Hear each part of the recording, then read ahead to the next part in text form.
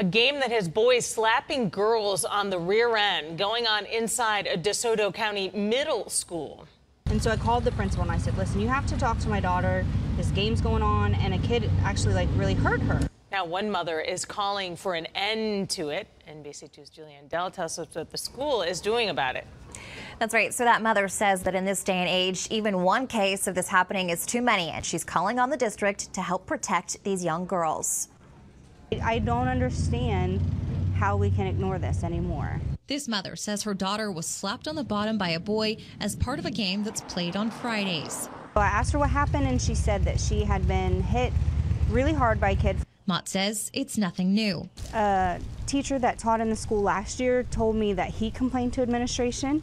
Now she took her complaint to the school board. First complaint I made was the second week of school when the student actually slapped her so hard it hurt her. The DeSoto school superintendent says there have been no sexual assaults reported on the DMS campus in the last two years. In the 2017 to 2018 school year, there was one complaint. It was investigated and could not be verified.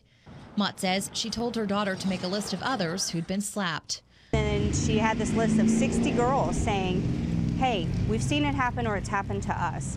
The school district telling us of that list, many of those students were interviewed by administration. The students stated that they knew about it, but that no incidents had occurred during the 2017 to 2018 school year. Mott says she's frustrated that no consequences have come of the complaints. With all the conversation going on in our nation right now about sexual harassment, you would think that right now, even if it's been ignored every time up until now, that now they would know they cannot ignore these kind of complaints.